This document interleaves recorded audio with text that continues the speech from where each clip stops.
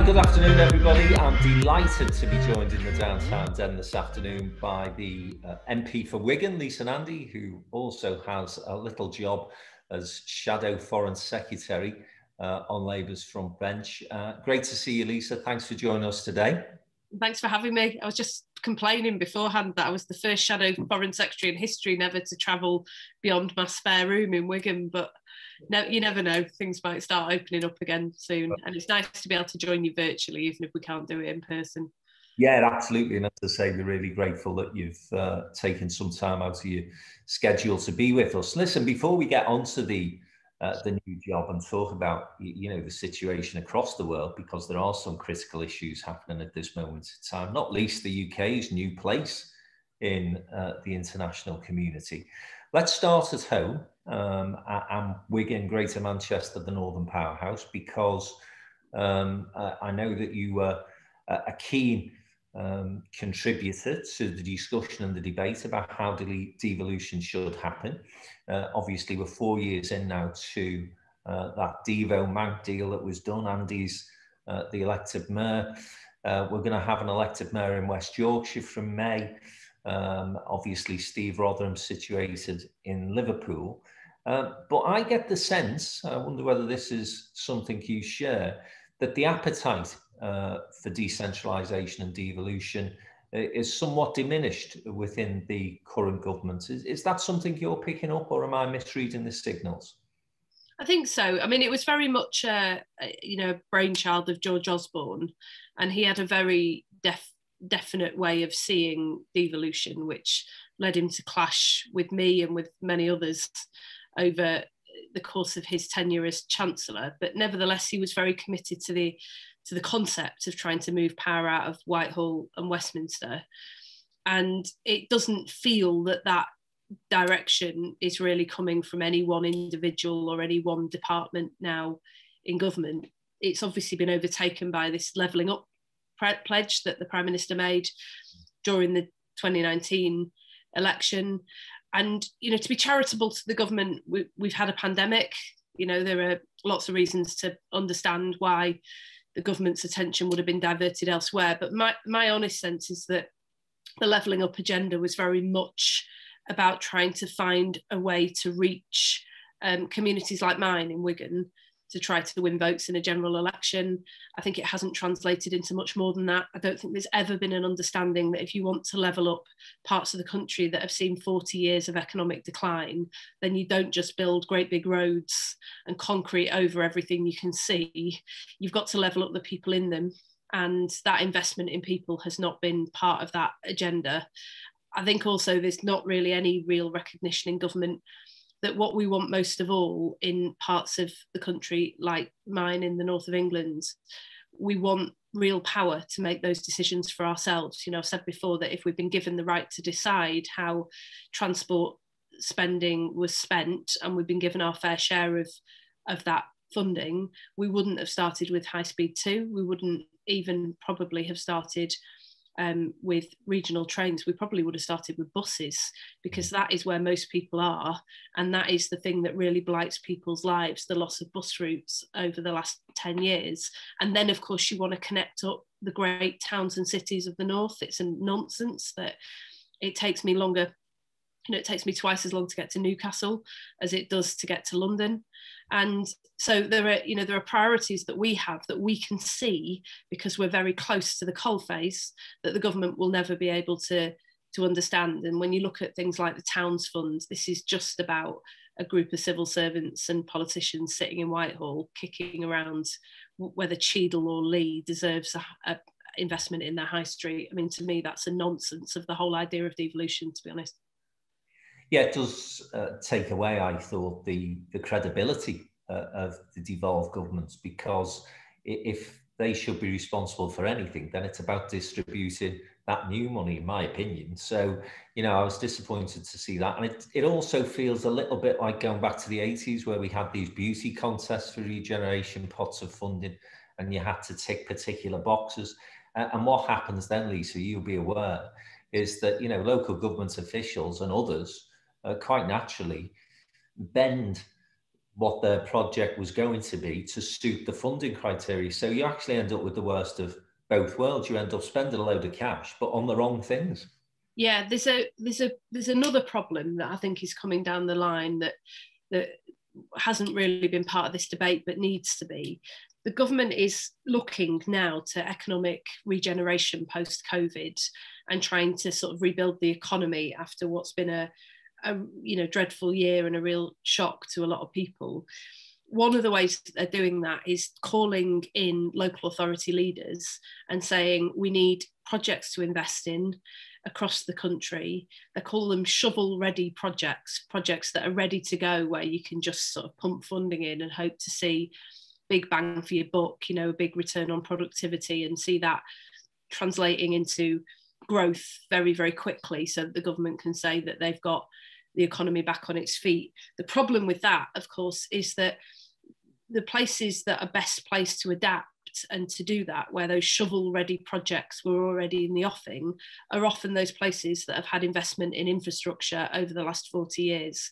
So, what we've seen uh, and you know part of the reason for these big seismic political shifts in recent years is that over the course of my lifetime, the funding, the investment has gone from places like Wigan, Bolton, Bury, the towns around Manchester, around Liverpool, into the major cities. Now, you know, I'm not for a moment um, arguing that there isn't great deprivation. It's created huge inequality in those cities. You know, overheated housing markets, people priced out of the market, um, you know, and all the problems that ensues from that. But what it's meant is that it, the investment, the infrastructure, the foreign direct investment 40 years ago used to go into places like Wigan, it now goes into Manchester. So we are not well placed to benefit from these shovel ready projects. What the government is doing and the strategy that they're pursuing at the moment will widen the existing inequalities and worsen the situation for areas that have already been left behind. Those areas will fall further and further behind as a deliberate, as a, as a direct consequence of the, the, the actions and the strategy that the government is following. And when I said I just don't feel that there is really much of a drive around this in government, it's because I don't think there is any understanding that that is the problem. I think they think that they can just commit to the same failed economic model that has piled investment into cities um, stripped it from surrounding towns and hope that the benefits trickle out. That model has failed us for 40 years. They didn't. And it's time that we saw something different. Lisa, if I can just talk about Wigan for a moment, though. Uh, it's. Uh, I was, you know, in Upholland for many years. That's where I lived, and, and Wigan was a place I used to uh, hang out when I was a kid. Would you believe? Because I went to John Rigby College in Orrell. I did, yeah. It's, amazing, John Rigby. That's great great place. Uh, I'm not sure they were glad to have me, but I'm glad I went there. And and, and listen, um, you know, I, I've seen some great transformation of uh, Wigan Town Centre uh, in, in, recent years. I think you know the chief exec and the team there seem to be doing a really good job. Um, and, and I just wonder whether, despite the comments that you've just made there, and I take on board the points that you make, but as a town, actually, um, lots of opportunity and potential around Wigan. And as I say, I think, you know, some great regeneration projects that, that make the place uh, look and feel a lot livelier these days than it was, say, 15, 20 years ago. Yeah, I think I think that's right. I think the council is is doing an amazing job. And you know, I don't represent the council. I I represent the people to the council. And at times I've had my moments with my own council over the last 11 years as they have with me. But the truth is that they are a very good council and they are very proactive about making sure that people can see uh, a borough that is on the up, that you know cares for itself and its community, that has a sense of pride about it and they've always understood that when you you know if you get off the train at Wigan at Wigan Northwestern and you look across the road and what you see is these grand old buildings, the former mining college, the first mining college um, in Europe, I believe. Um, you know, you see these great old buildings in a state of decline.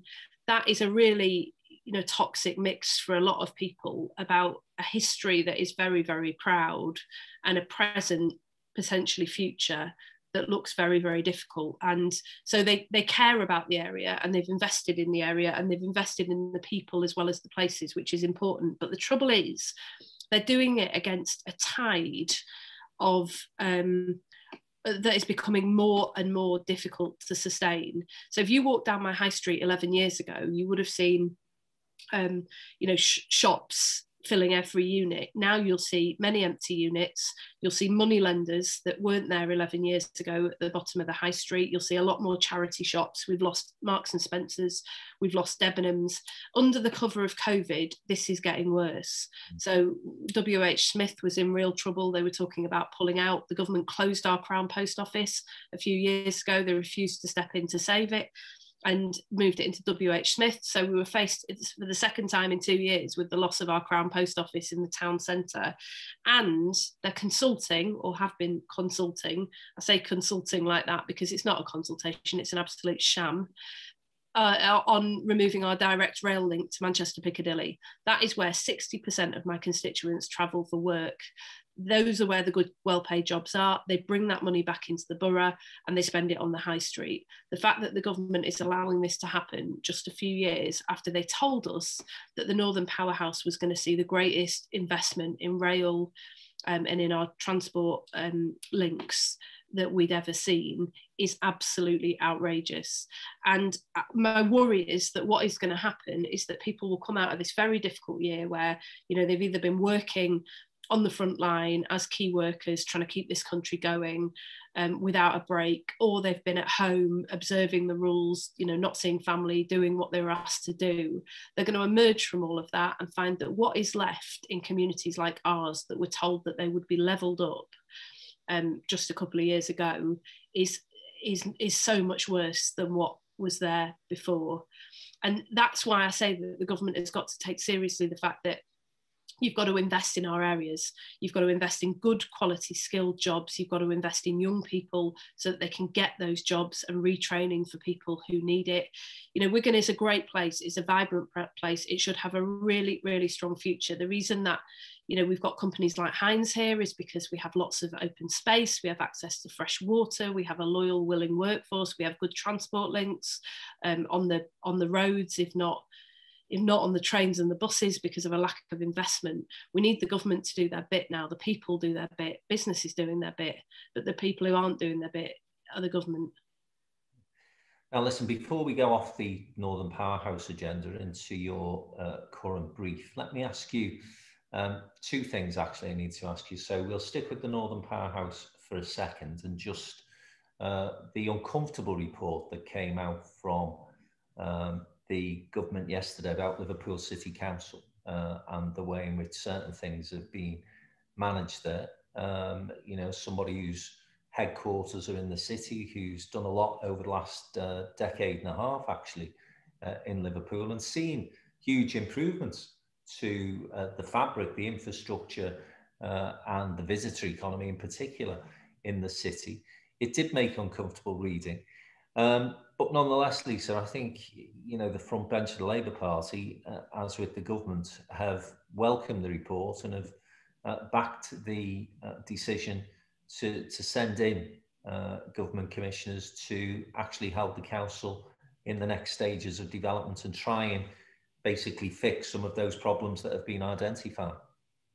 Yeah, well, I mean, look, we don't welcome the situation in Liverpool at all. And like you said, Liverpool is an amazing city with huge amounts going for it. The transformation of Liverpool over the course of my ad- adult lifetime has been incredible. You know, when I was growing up in Manchester in the 1980s, when you went into Manchester city centre, just as when you went into Liverpool city centre, it was a completely different place. And, you know, there's been lots of people who've been involved in that um, including local officials, local politicians, um, and the European Union as well, that put in huge amounts of money to try and regenerate northern cities when, frankly, the government wouldn't. So this, you know, it's been a huge effort, and I'm not taking anything away from that. But this is a really serious report. These are very, very serious allegations. You know, obviously can't say very much about the, the there's a legal process ongoing, and you know, a number of people have been arrested but we take seriously the fact that you know public money has to be has to be you've got to be absolutely above board with the way in which you you conduct governance and we we're absolutely wedded to that. And you know just note as well that in the report the the chief executive of the council was praised. Um, you know and I, I want to reiterate that you know those people who've been you know pushing very hard for liverpool's regeneration and delivering you know those people deserve our thanks and they deserve our credit but we've got to take this seriously. There's no there's no getting around the fact that these are very very serious allegations and that's why we said that we supported the government to send commissioners in to, to get this right. Well hopefully it's uh, still glass half full in liverpool. Certainly there's still a confidence within the private sector here that things will um, begin to improve once we get the COVID crisis out the way. And let me turn to that, Lisa, because the last big crisis, the last big crash, uh, was in 2008, of course, and the, the, the banking crisis. And I was reflecting a couple of weeks ago in a conversation um, as to how uh, the, the world leaders reacted to that crisis. And, you know, we all remember the pictures of Gordon Brown um, getting together with his G7, G8 colleagues, whatever it was at the time. And we had Gordon, we had uh, Barack Obama, we had Angela Merkel at the height of her powers. Um, some serious international leaders there, and, and certainly in terms of Gordon Brown, someone with a huge ability and a mind to, to get his head around the challenges that we faced at that time. And although it was a crisis that many suffered from, it, it didn't send us into catastrophe. And it really felt as though there was a cohesion, a coordination behind the plans that were taking place. And so we didn't feel out of step with the rest of the planet. Uh, at this moment in time, Lisa, I'm not laying this at Boris Johnson, the UK government's feet, but it does seem to me that there's a total disconnect between what's happening here, what's happening in the EU, what's happened in the States. I just wanted to get your thoughts around uh, that because you know from the outside looking in it, it, can be quite depressing can't it? Yeah i think that's fair. I think there was um the the response the global response was very very slow compared to other you know i'm not sure there is a comparable crisis to this but other major global crises that is certainly true. And there was a vacuum in which nobody really stepped forward to show global leadership. There were some countries that tried to do it on particular issues. You know, Macron um, pushed very hard for a global ceasefire in the early days that was unsuccessful. You had um, countries like Canada stepping up and trying to lead the way in getting global agreement around a vaccine. Um, but it was very, very slow, particularly two, two areas. One was about um, treatment, diagnostics, and vaccines. So, trying to get a global agreement about how we make sure that they uh, are developed together and reach as many people as possible as quickly as possible around the world. And we still have problems with that, despite the United States now joining some of those efforts. There's a scheme called COVAX to try and get the vaccine out as, as widely as possible. There are, there's a big funding gap that remains. And this is a real problem for us because we've seen, you know, over in France, for example, in the last few weeks, real concern about the South African variant and whether that is potentially more resistant to the vaccine than other new strains. I don't want to alarm people, but you know the scientists we have briefings with sage scientists every few weeks and they are absolutely clear that where you have very high infection rates that's where you get new variants. And eventually one of those strains could be vaccine resistant and then we've got a real problem again. So we've got to make sure that we do better than that. The other the other area, of course, is economics and trying to stop economic hemorrhaging across the world. I think if COVID has reminded us of anything, it's that we live in a very globally interdependent world. And the response there was extraordinarily slow. Um, we've seen a little bit of movement with countries, uh, developing countries, being able to access what's called special drawing rights in the last um, few days. There's been a breakthrough around that to make sure that their their economies don't fall over, which would then create a domino effect across the world. None of us want to see that. I guess, if I'm honest, there are a few reasons for the, for this. One is the the the particular situation the United States was in yeah. at the time. Um, you know, with President Trump and who'd taken a very isolationist approach over recent years. You didn't just see the US stepping out of that leadership role, but you also saw attacks on the World Health Organization and on those global agreements at the very moment when we most needed the world to come together. Um, the EU was particularly divided, struggling to reach an agreement about how to respond even within the European Union, let alone how to front that up to the world. I don't want to overstate that. They did resolve those difficulties and agree a bailout package within the EU that then allowed them to step into the global arena and and work with other others to to advance that. But that was problematic. But you know, in terms of the U- UK, I think what this crisis has shown is the folly of um, the government's approach over recent years. We've gained a reputation as an alliance breaker, not an alliance maker, and that is a real problem. You know, in the world that we live in, we need friends more than ever, and having needlessly trashed our friendships with many of our closest neighbours we haven't invested heavily enough in trying to either rebuild those alliances and repair them or in trying to build alliances elsewhere. And I think you saw with COVID that that became a real problem. I think the government saw it as well, to be honest, but there's still a huge tension within government about how they want to, to proceed with that. I think, you know, when you look at Brexit, it, we, we had this ongoing endless row for four years about whether we should leave the European Union or not. The argument now really is about whether we want to make Brexit work. And the curious thing to me is that it feels like the Labour Party wants to make Brexit work and make Boris Johnson's deal work more than he does at the moment. yeah, it's, it, it's a very strange place to be, isn't it? I think, you know, as someone who's a staunch Remainer, um, you know, I I'm not one of these people who think we should start campaigning to get back in the EU tomorrow. Uh, but nevertheless, I look at the deal that was agreed, uh, and as bad as it was, I, I, think it's been made worse by just some of the practical implications. And yeah, implicate uh, the way they've implemented it. Sorry, um, it's made it worse than it needed to be.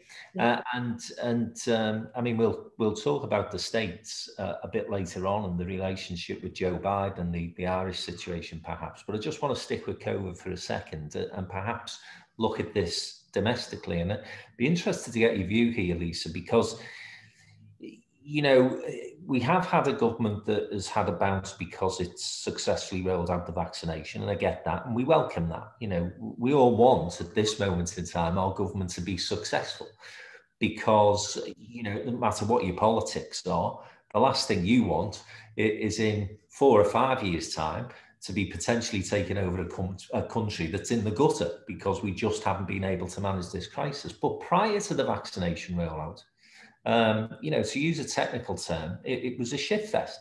And there was nothing that was going right.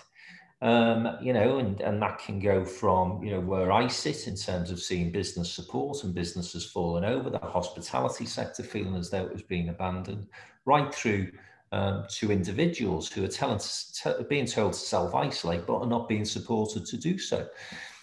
That then makes me a little surprised that the Labour Party are happy to sign up for, I might be wrong with this, I'm reading, are happy to sign up for a further six month extension to lockdown regulations. As I say, you might tell me that I'm wrong on that. Um, but, you know, I'm worried about civil liberties at the moment, I think for, for all sorts of reasons. And uh, I would have anticipated that we'd at least be bringing the government and the executive back every month to justify why those restrictions are staying in place. So tell me what the thinking is around that. Uh, so the vote this week has two things rolled up in it. So the first is about some of the measures that were in place during the lockdown. So it renews the, the legislation basically that allowed for the lockdown, but also puts in place things like statutory sick pay, which we fought very hard for, um, and uh, ban on evictions during the the lockdown period and, and, and other measures like that. So there's a there's a, there's that renewal of that, that legislation that we're debating in a very short amount of time that the government has allowed and then voting on this week. But rolled up in that as well is another vote, which is uh, same vote, but another package of measures, which enables us to unlock over the next few months. And we're very keen to see the economy unlocked. We want to do it gradually, we want to do it safely, we want to be guided by the science, but we do want to see the economy unlock and we want this to be the last lockdown.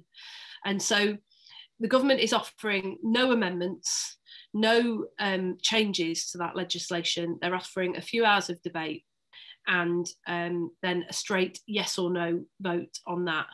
And that, that's why we've said that we won't stand in the way of that legislation going through, because without that legislation, we could be in great deal of trouble indeed and take away some of the safeguards that currently are the only things that are keeping people afloat. I'm afraid this is the consequence of having fought an election um, and lost our entire Labour base in every nation and region of the UK and seen a government returned with an 80 seat majority is that we don't have leverage to try and change that. So what we've got is a it, it's, it's, sorry to get so technical, but we've got what's known as a sort of reasoned amendment where we're making clear the fact that there are things in this legislation that we are uncomfortable with or opposed to.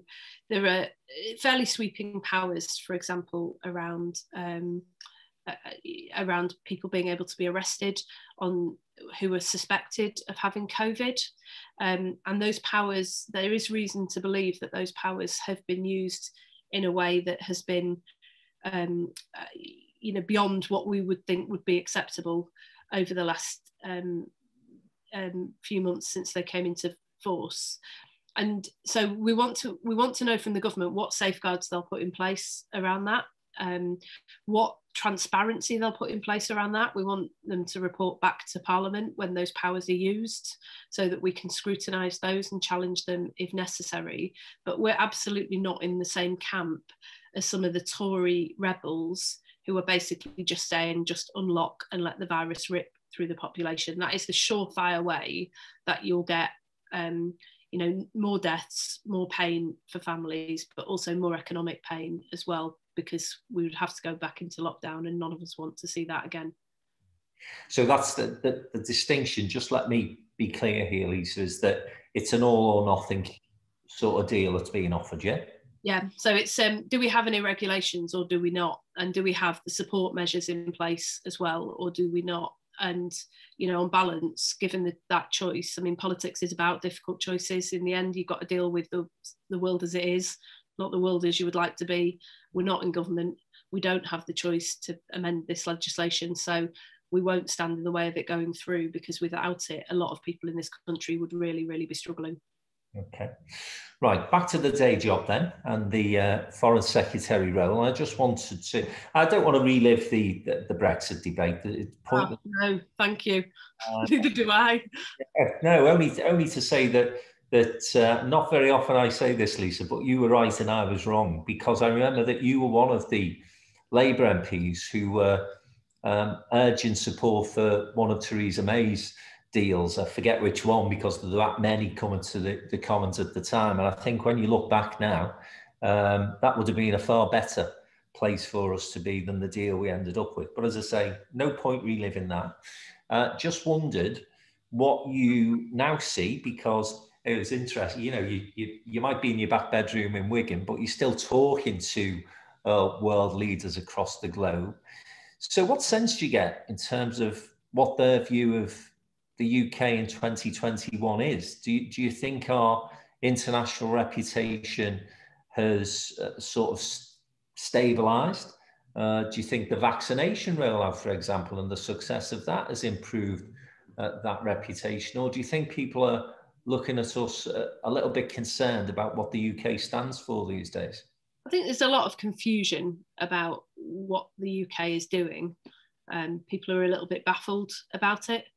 I think there was um, there've been a few moments over the last um, few years where people really haven't understood what it is that the UK is trying to do at all.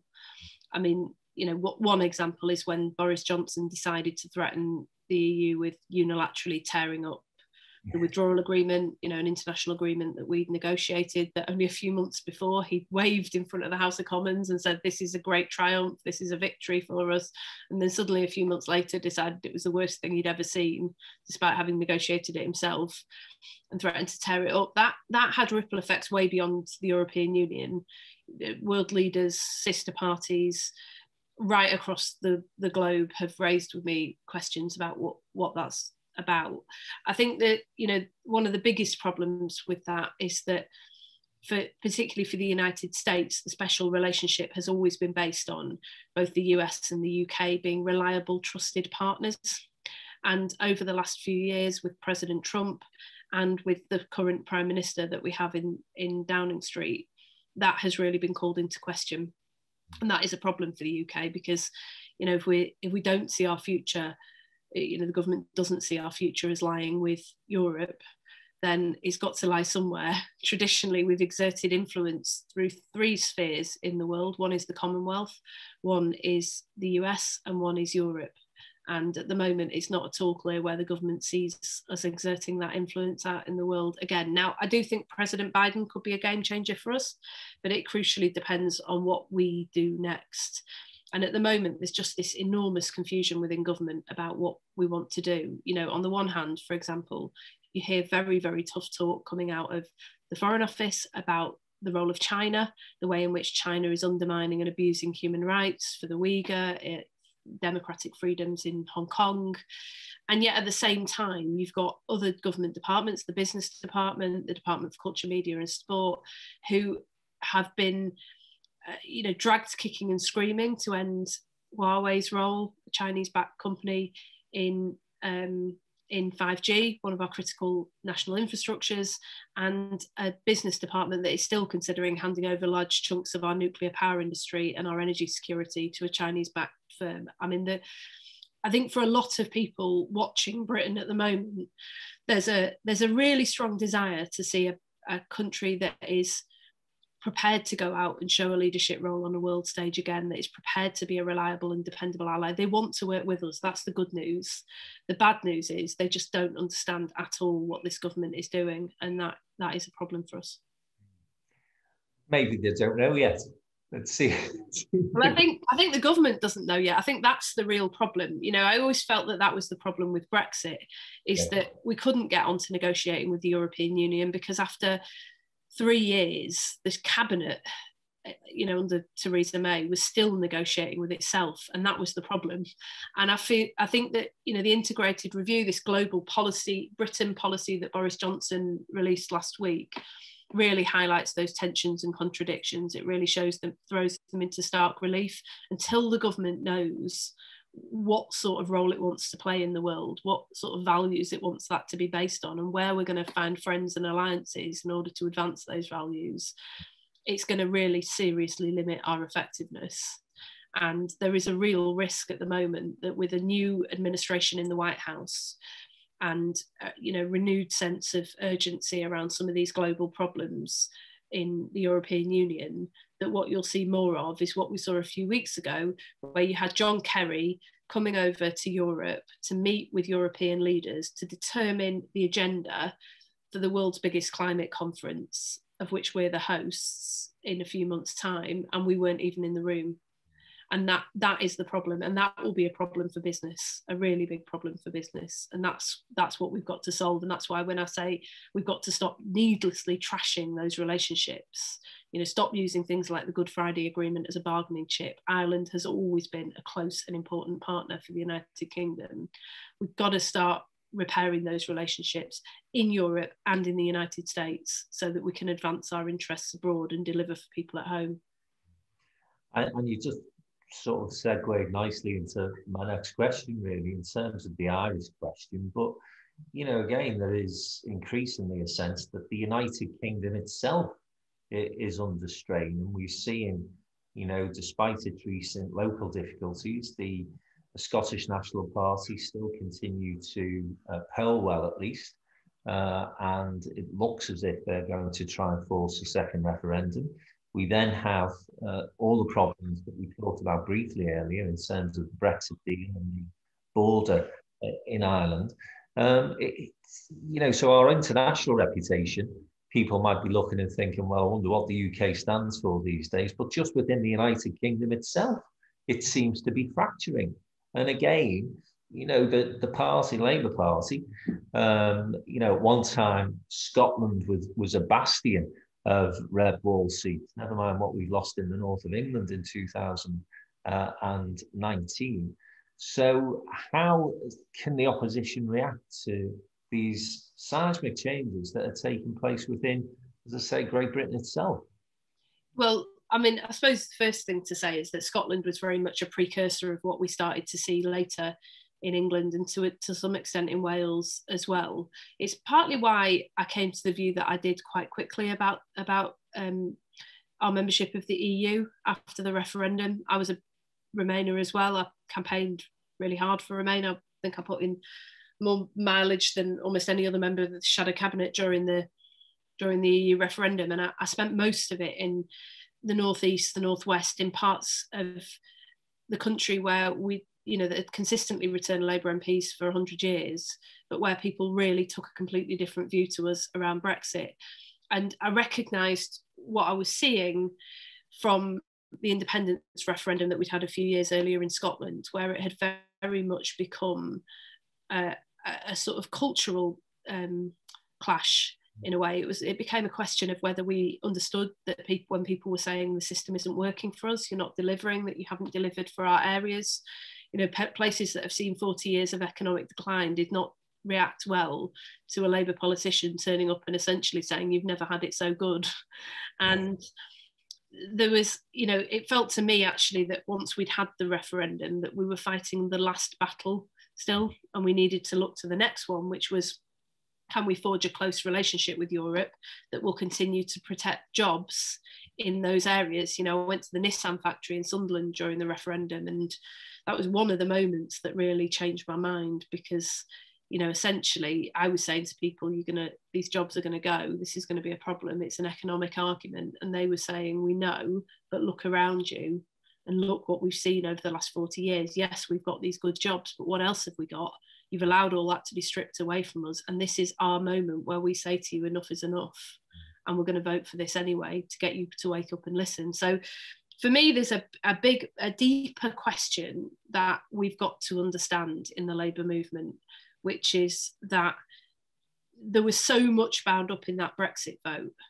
And there was so much bound up in what happened in 2019. And we have to actually start delivering on the things that matter most to people in their own lives. And we've got to do that in Scotland as well as in Wales actually where you know people often say in the Welsh valleys that Cardiff feels as remote as Westminster just as they say in towns across Scotland that Holyrood feels as remote as Westminster. And we've got to show that we can deliver for people in those areas and for their communities and on the things that most matter to them. Let me give you one example of how we've tried to do that recently and then I'll, I'll shut up. But um we recently Keir Starmer went to do a virtual um, roundtable with the Scotch whisky producers in Scotland. This is a crown jewel industry for the United Kingdom. It could not matter more.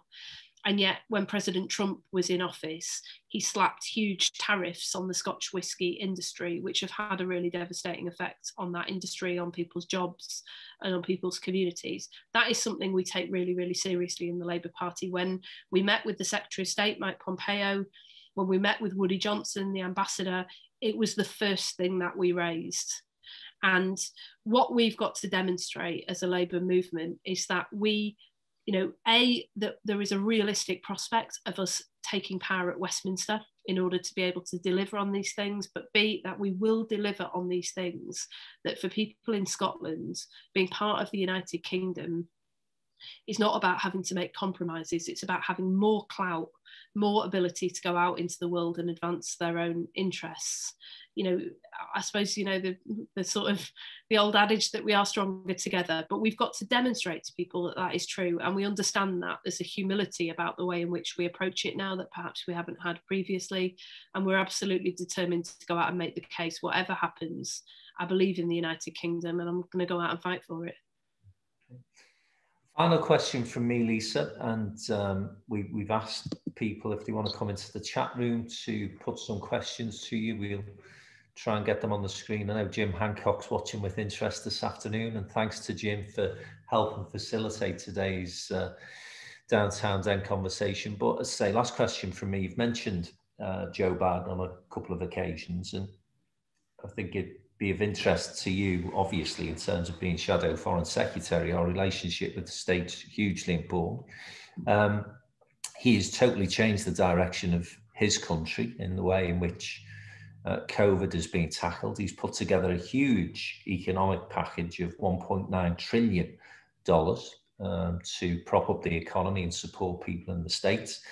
Um, but then the Democratic Party, uh, I think, the challenges um, to Labour uh, in terms of its election against a very populist leader. You know, we people like you and I, Lisa, might look at Donald Trump and think he's an absolute lunatic, but he still managed to get over 70 million votes, even when he lost uh, the election last year. So, two things really. Um, how you think the UK can position itself so that it does continue to have that special relationship with a Biden presidency, and what you think Labour can learn potentially from the Democrats' success in the presidential election? Um, well, we, we work closely with the Democrats, as you imagine, they're our sister party. So we've had a, a good relationship with them for a long time. And we've spent quite a bit of time over the last few months talking to members of the Biden campaign team and also the incoming administration about what we can learn. The United States is not the United Kingdom. You know, there are there are big differences, not least our electoral system. You know, when they say we shifted the dial by one percent in Pennsylvania and that pushed us over the line, doesn't help us here in the United Kingdom. You know, we don't need to shift the dial by one percent in in um, in Leigh, we need to shift the dial by you know whatever it takes to win the actual seat. So there's you know there's a different there's a different sort of context, but nevertheless there are striking similarities, and I think you know the thing that I find most interesting about the Biden team is not that they they got on the front foot about this very early. That that's important. They they started this campaign in 2016, the day that Hillary Clinton lost to Donald Trump it's more that they are under no illusions about how difficult it is.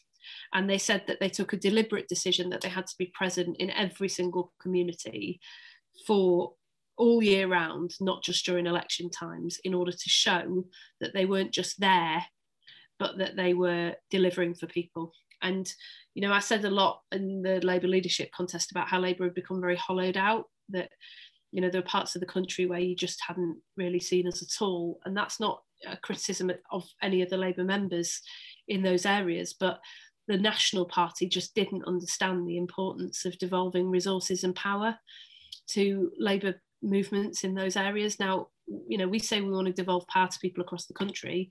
We've got to show that we mean it in our own movement first, and we've got to be there for people all year round. So there are some really interesting parallels for us, and particularly that, you know, if you look at somewhere like I'm just actually I've got this just I'm writing a speech at the moment. I was just looking up a, a line in this book, Hillbilly Elegy, which is a, a book by a guy called J.D. Vance over in the United States about growing up in Jackson, Kentucky, and the story that he tells about 40 years of economic decline, about you know a town that was once proud, that had good skilled jobs, that has seen a lot of those jobs offshored and sent overseas, has seen not with that go the loss of pride, loss of purpose, and also the young people and the working age population that sustain the high streets, the bus networks.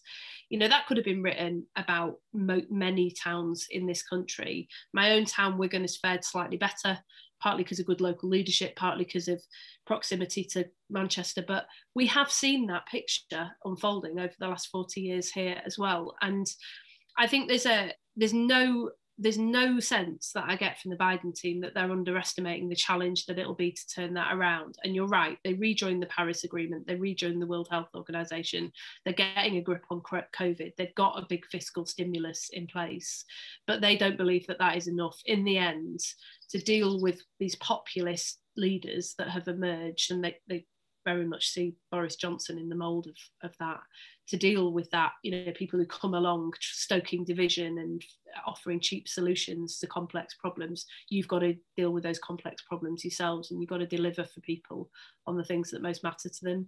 You know in in a for me the, the mark of success of a, of a labour government will be you know can young people in places like wigan who want to stay and some will want to leave and go and get opportunities elsewhere but do they have those opportunities here to be able to stay and not to have to choose between love home and family and work the future and opportunity? And when that is real, when they get that choice, that real choice, and they have the power to decide themselves, that's when I'll feel my work is done and I'll go and retire somewhere with a big glass of um, I don't know, pint of pint of lager actually at the moment. I'm missing the pub. yeah, I think we all are, aren't we? Um, so you, you mentioned there, you know, the challenge that the Democrats have with a populist leader. We, of course, um, may be perceived as having a populist leader in Boris Johnson. Uh, can he forge a positive relationship with Joe Biden, do you think? Yeah, I, I, I think they're they're fair-minded. The Biden administration. I think I don't know Joe Biden, but you know I've met and worked with many members of his incoming administration, some of whom we knew before because they they were they worked under the um, Obama administration as well. Um, they, you know, Biden is is pro-Britain. Um, he's, you know, much was made of the fact that he he made those comments about the Good Friday Agreement and Britain's role in it. But he is pro-Irish, but he's also pro-Britain, um, and he wants to have a good relationship with us. He's incredibly pragmatic as well, and I don't think there's any sense that the Biden administration is not interested in having a good, strong relationship with the United Kingdom. But um, but it depends what we do next, and there is a level of uh, anger, I suppose, still about some of the actions that Boris Johnson's taken in recent years. The the comments about Barack Obama still run very deep, where he talked about Obama having this part Kenyan ancestry that were just deeply offensive, and st- I still felt very strongly amongst some some of the, the Democrats. And, you know, I think there's work to do, frankly, in showing that we can be a reliable, dependable partner. And what was really baffling was that a few months ago, the Prime Minister did this great sort of, you know, Green New Deal moment where he said we were going to go out and show leadership on that, we were going to invest in defence. And then straight off the back of that, he cut our aid spending and he has now cut the armed forces. And those two those things taken together just show a government that is all over the place in terms of you know who we are what we're about the role that we play in the world and send a signal to other countries that we may not be the reliable de- dependable partner that we once were. That is a real problem. I think the government really does need to quite urgently get its act together. The, the door is open frankly. That's the very strong sense i get from the biden administration and from others around the world. The door is open but they're looking at us with absolute confusion at the moment about what it is that we're about. I'm not going to end on a negative note, Lisa. Uh, so tell me, um, a walk uh, down to Wigan Pier or the other particular routes that you take when you escape from your back bedroom and you get out into the uh, the wide world of Wigan? Well, I've um, I've taken up running in quite a big way, and one thing people don't realise about Wigan is it's a rural area, right? So we've got Wigan Town Centre, and we've got you know lots of uh, former pit villages in the area, but we've got the most incredible open countryside. So if people are thinking about a day out in Wigan, I guess I'd start with Haigh Hall. Say come yeah. come and have a look, see what we've got to offer. It is don't believe what you read in the road to Wigan Pier. It is the most incredible place. And you know, if I've got one mission, I've been the MP for Wigan now for nearly 11 years, and I stood for Parliament because of frustration. I think it's fair to say I'm even more frustrated now than I, than I was then. But I am absolutely determined that the world is going to know what an amazing place Wigan is, and that our position, you know, not just ours, but towns like ours, our position, you know, at the heart of this country, contributing to driving forward the, the country, its wealth, its influence, its its purpose, that is going to be restored to places like ours. That is my mission, and I'm going to achieve it. I'm sure. Well, I, I, certainly wouldn't argue with that. And it is a cracking place. If you've not visited Wigan or you've not been for some time, I can highly recommend it. Jim Hancock does want to ask a question. Can we bring Jim onto the screen, Patrick?